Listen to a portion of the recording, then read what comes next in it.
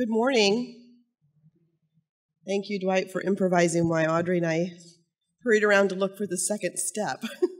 We're trying not to share space this morning, and we only had one step. So that's what happens when you schedule two short people on the same morning. Not really our fault, right? Well, I'd like to welcome you this morning and ask if there are any announcements you'd like to share. There's a microphone here for you.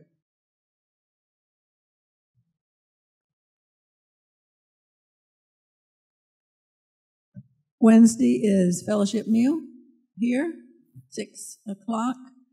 Um, Paulette and I are cooking. Um, just bring yourselves and come and visit one another and be in a different space than Sunday morning.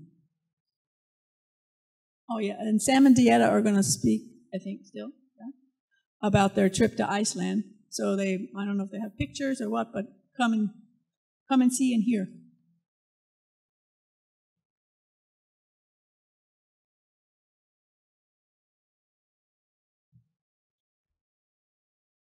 Uh, the church board has agreed to offer some scholarships for the CDS training in October.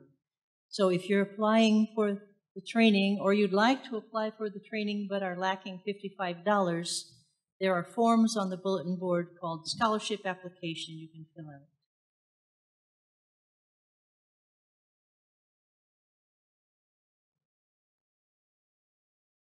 We have the we have the ice cream social today at the park at 4 p.m. Um, is Jan gonna come and play? Okay, so um, there's gonna be plenty of ice cream, so make sure you come out.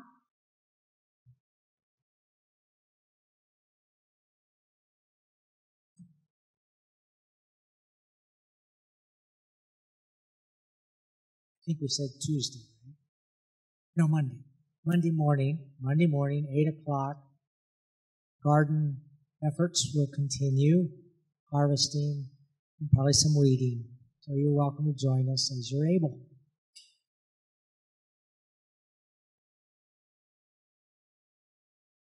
Okay, if there are no further announcements, let's prepare for worship this morning. In our scripture this morning, we're reminded how Jesus instructs us to find rest when we're weary. Do you remember, as children, the bedtime prayer we were taught? Now I lay me down to sleep. I pray, my, pray the Lord my soul to keep. If I should die before I wake, I pray the Lord my soul to take. And then our exhausted little bodies just went to sleep. It just worked that way. But as we get older, rest is harder to come by. We have to seek rest, both temporarily and eternally. As adults, when we lay ourselves down to sleep, our minds continue to work, and we must make a conscious effort to give it to God if we're ever going to get any rest.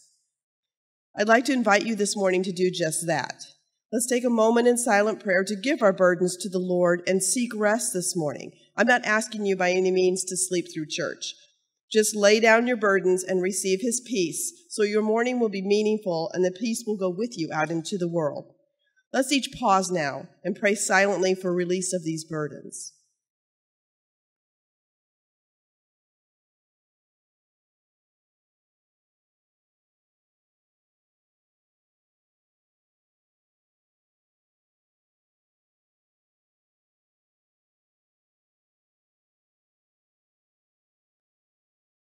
Lord, you've heard our prayers, and we seek rest and peace in you. Let our bodies relax and our minds receive the peace of this morning's service, that we may take it into the world and spread this good feeling wherever we may go. Amen. Let's open with a praise hymn this morning. Open my eyes that I may see, 517.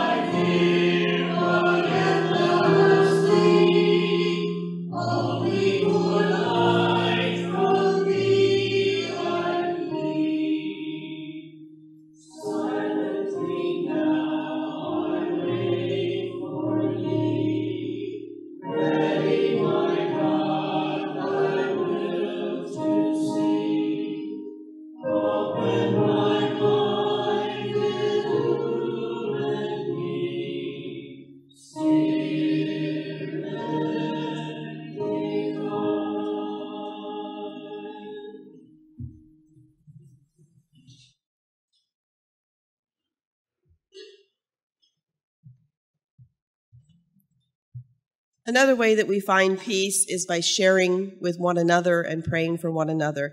I'd like to open the floor to concerns that you may have this morning and would like for us to pray for.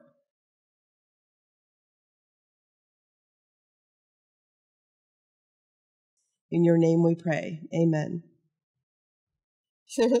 so, James 1 reminds us that every good and perfect gift is from above, coming down from the Father of heavenly lights who does not change like shifting shadows. I invite you to give any financial gifts if you have not already done so, and then we'll dedicate those gifts. Lord, we freely return what you have given us for use near and far as you see fit. We dedicate these gifts in your name. Amen. Let's do children's time now, shall we? Daddy's new hunting buddy, it says on your shirt, huh? Wow. So, um, what have I got in my pocket here? Look at that. What is it? Want another one? Two or three? It's $20 bills. Look at that. Money.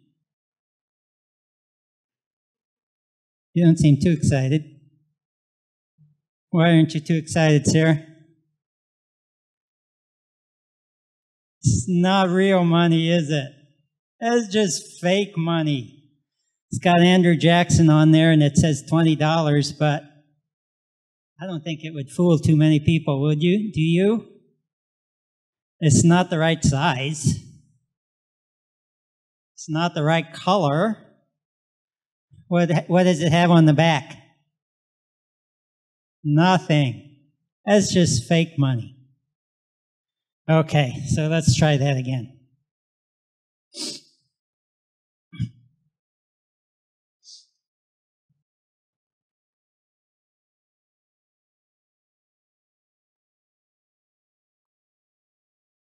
So, what about that? Would you like that?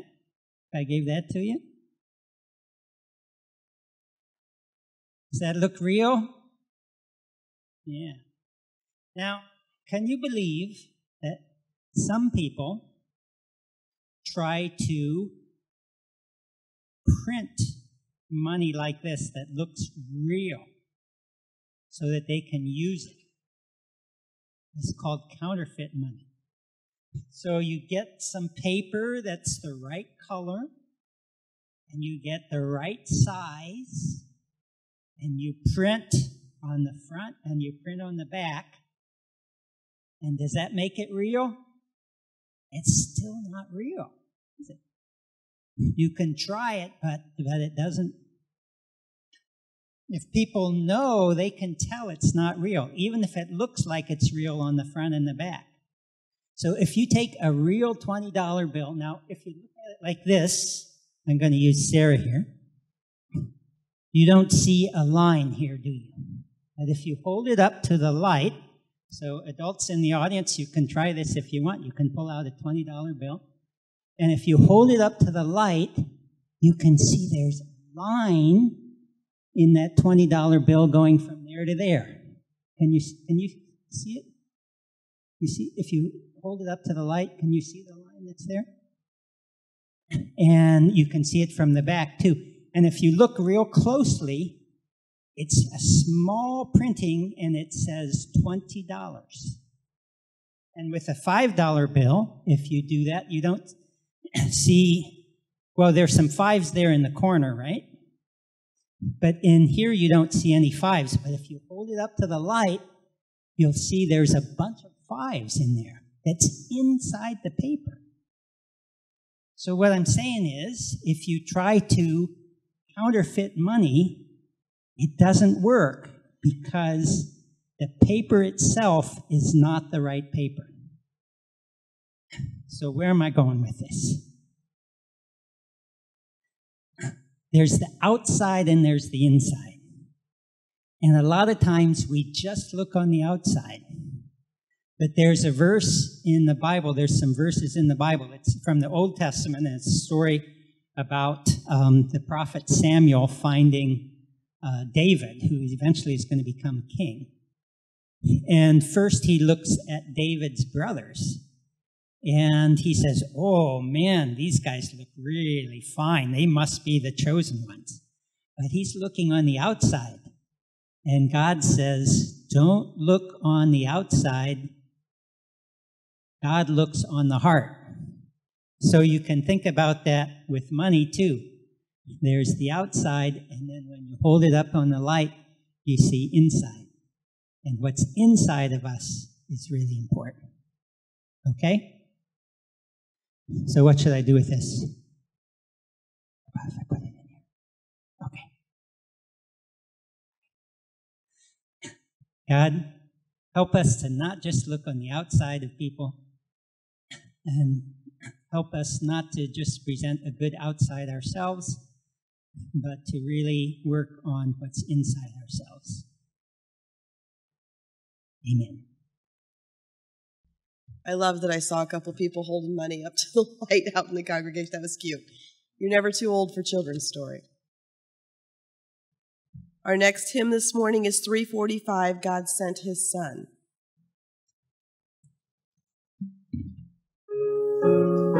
God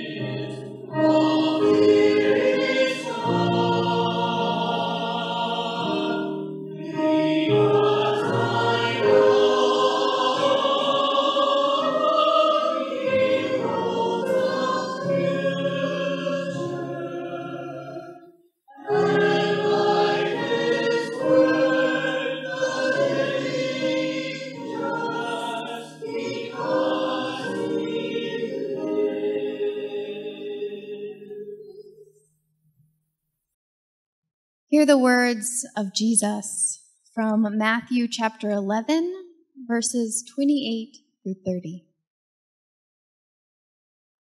Come to me, all you who are exhausted and weighted down beneath your burdens, and I will give you rest. Take my yoke upon you and learn of me, for I am gentle and lowly in heart. You will find rest for your souls, for my yoke is easy and my burden is light. As a carpenter by trade, Jesus likely crafted many yokes, or at least observed his father Joseph doing so. The way to make a yoke easy was to get the most perfect fit possible for the oxen, measuring and trimming and shaping the wooden yoke specifically to fit the exact oxen who would be carrying it. So it curved to their bodies and was easier to carry. It makes sense then that God, who knows each and every one of us, would send Jesus to help carry our burdens, knowing exactly what each of us needs to ease our load. Yokes in biblical times were also associated with wisdom because the purpose was to allow experienced oxen to guide young oxen through the exercise of carrying a load. The young oxen did not have to learn to carry its burden alone. Through being yoked, it grew wiser and stronger. Jesus then is our experienced guide, carrying the other side, sharing the wisdom of God as he helps to shoulder our burdens. While we're on the subject of oxen, I was reminded during my sermon preparation this week about the 10 ox herding pictures associated with the Zen Buddhist path to enlightenment. We studied them in one of my Theopoetics courses in seminary, and I want to share them with you as part of my sermon this morning. If you haven't heard of these, they are pictures of a young ox herder on a journey of spiritual discovery. Harry, if you could click the next slide. So, this is the first of these pictures. And in this picture, the ox herder is searching for something. Something that he feels is missing from his life, although he may not even know what it is. This could be inner peace, or guidance toward the right job or the right relationships. Translated to English, the caption that accompanies this picture reads High mountains, deep waters, and a dense jungle of grass. However much you try, the way to proceed remains unclear. To alleviate this sense of frustration, listen to the chirping of cicadas.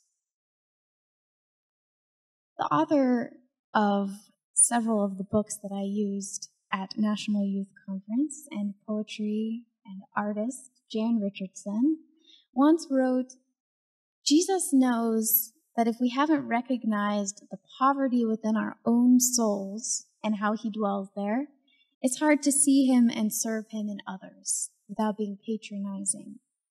So it's very important to be aware of and acknowledge the burdens we are experiencing in order to seek guidance on how to carry them. At National Youth Conference, I was in charge of the preparation for the anointing service, which they always hold on the last evening of the conference. Beforehand, the worship team had prepared a scrap of cloth for each participant. And Terry, you could go to the next slide. The purpose of having scraps specifically was that there were many different colors and patterns some frayed and rough around the edges, the leftover, the left behind, the forgotten, the imperfect, but held in the hands of all who were gathered there. If you're a crafter or you do a lot of art projects, you may have scraps of your own in a room left over from past projects, or you might have some type of cloth, a towel or a blanket you've had for many, many years or as long as you can remember, that's beginning to fade or fall apart. So you can imagine these scraps of cloth. And I asked them to think of the cloths as symbols for themselves. Tired, worn out, feeling frayed at the edges of our emotions, every day facing our imperfections, finding ways to face one another's imperfections with grace. I asked them to look closely at their scraps of cloth, and anywhere they saw strings hanging off, to think about where their own lives felt like they might be unraveling, where they saw creases and folds in the fabric, to think about where they might be bending over backwards to please others while neglecting their own well being. If the fabric had rips or tears, to consider their own insecurities that could tear them apart from the inside the areas in life they wished they were better or stronger, looked different, felt happier. Think about all their lost or broken relationships with other people, and to make their scraps symbols for all the scraps of themselves. Every crease, every tear, every wrinkle, another broken part of their lives. And then to remember that Jesus is among the scraps, healer of all brokenness. In preparation for the service of anointing and healing that we shared that evening, I had them picture that scrap of cloth as every piece of brokenness, every negative emotion they were holding on to, and to squeeze it as tightly as they could in their hands. And then to let it go. To release their brokenness to God and to trust in the movement of God in our midst. And during the anointing service that evening, participants had the option to bring their scraps up and lay them on the ground in front of the stage area. So at the conclusion of the service, there was this beautiful multicolored collage of cloth laid up at the front, a mosaic of all the scraps that people had laid down before God. When I was thinking of a sermon title for this Sunday and I was thinking about mosaic, I wanted to check the definition just to make sure it was fitting. And it is a design using smaller pieces to make a bigger picture. There's a whole sermon in that as well about all of us being the mosaic of God's church. But the internet also provided me with another definition that I had not been expecting mosaic of or pertaining to Moses. So, mosaic with a double meaning. Mosaic made up of all the broken pieces of ourselves that Jesus helps us to carry and Jesus himself as mosaic of Moses. We read in Acts 3:22, for Moses said, "The Lord your God will raise up for you a prophet like me from among your people. You must listen to everything he tells you." So let's listen to those words of Jesus again. Come to me, all you who are exhausted and weighted down beneath your burdens, and I will give you rest. Take my yoke upon you and learn of me, for I am gentle and lowly in heart. You will find rest for your souls, for my yoke is easy and my burden is light. In the second picture of the series, the ox herder sees footprints. He's reached the point where he's decided he does need something more in his life, and he's investigating what that missing something could be. However, this stage is mostly reliant on listening to and reading about what other people are doing, other people's spiritual journeys and what worked for them, rather than exploring the personal call. In the third picture, the ox herder actually finds the ox. This is a stage where you begin to actually try the practices that you've learned about. You start reading devotionals regularly, or doing yoga every morning, or meeting with a wise mentor, and you are filled with anticipation. The fourth picture is the ox herder attempting to catch the ox. This represents the difficulty of maintaining those spiritual practices over time staying consistent when life gets in the way, or stress and doubt overtake us. School just started, so it seems fitting to do an object lesson. When I attended the annual conference equipping session on resiliency, one of the pieces of advice that the presenter gave us was you cannot give from an empty cup.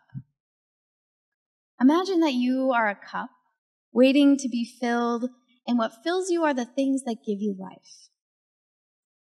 So it might be taking a walk in the forest in silence, just taking in the sounds of the creatures and the intricacy of the plants and the freshness of the air. It might be treating yourself at your favorite coffee or tea shop it might be taking the time to pray. It might be receiving a compliment for something that you have been working hard on. Or sitting down to read a new book that you've been wanting to read. It could be going out on a fishing trip or taking the time to sit and play a game with your family, or playing with your dog or your cat, or reading the Bible.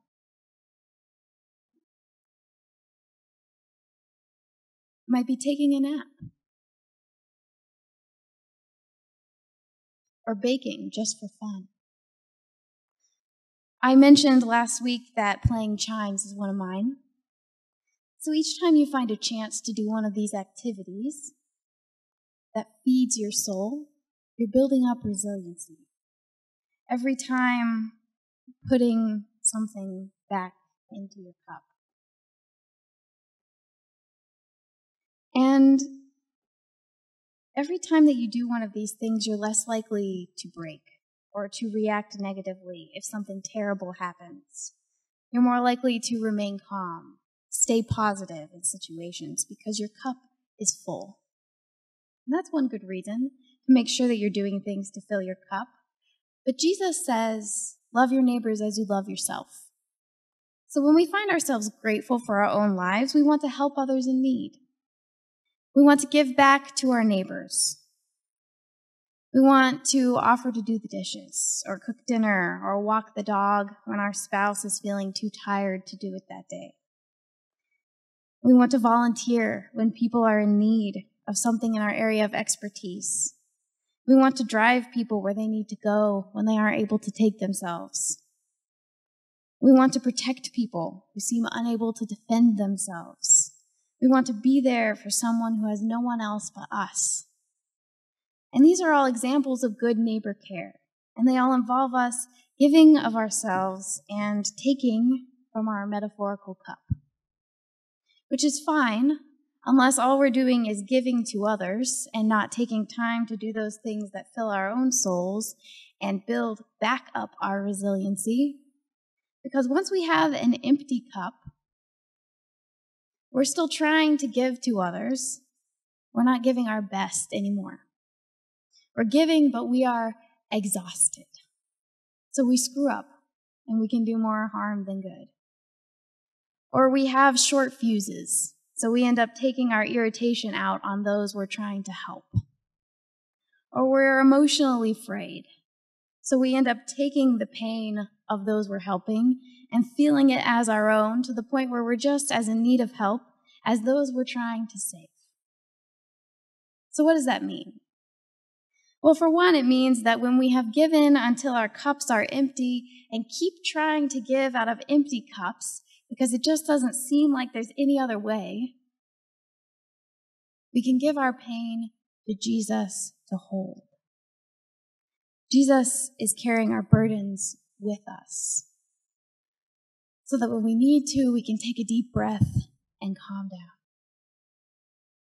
Jesus is carrying our burdens with us so we can take that second to appreciate the beauty of the flower we always pass in the yard.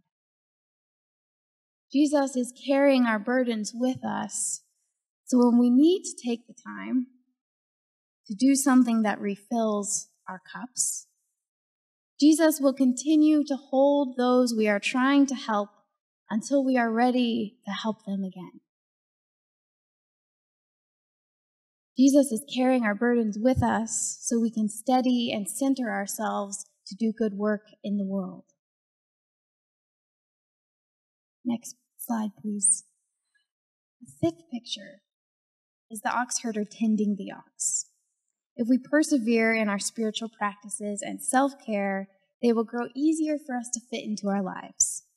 If you read the Bible every day, if you pray at each meal, if you thank God upon waking every morning, those practices will become more natural each time. Next slide. The sixth picture shows the ox herder riding the ox. Martine Batchelor, a former nun who has studied in the Korean Zen tradition, describes this picture best when she writes, As we accept ourselves in the world, our potential unfolds. Fears and insecurities dissolve, and we can express ourselves through music, painting, poetry, cooking, gardening, being with children or old people. Everything we do, everything we do becomes an art. The seventh picture shows just the ox herder resting alone. This is the point where being aware of our needs and using everyday activities as spiritual practices has become natural for us to the point where we don't even need to think about it anymore. You might say at that point we are living our best lives. The eighth picture has neither the ox herder nor the ox. In Buddhist practice, this depicts emptiness, a letting go of self. One way you could think about this would be the realization that there is so much beyond yourself. So you may be living your best life, but there is a world beyond you, and worlds beyond that. And it is all part of something so much bigger and more awe inspiring than we can even imagine. The second to last picture shows a return to the original place depicted in the first picture. Thinking only of all that is beyond you can lead to you feeling very insignificant or like life does not matter, when in fact you're called to look at your life from before with new eyes. Seeing everything that felt like not enough before as connected to immeasurable value of the greater picture.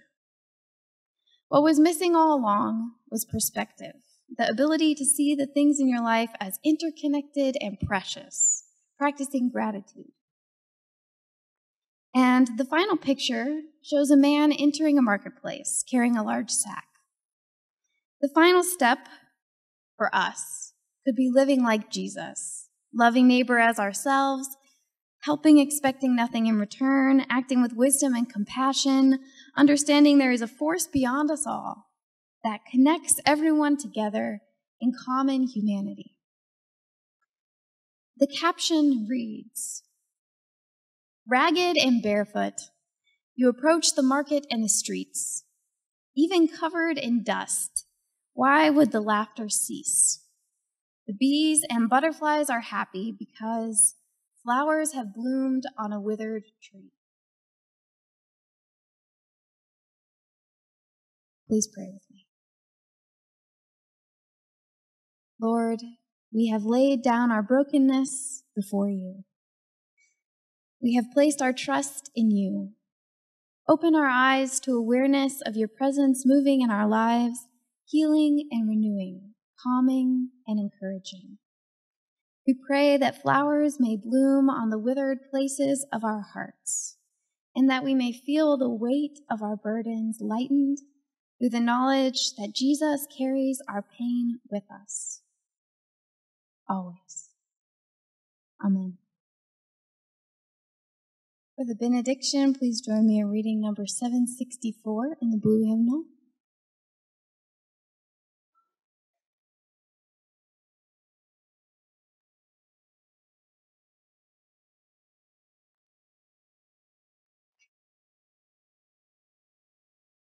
Go in love.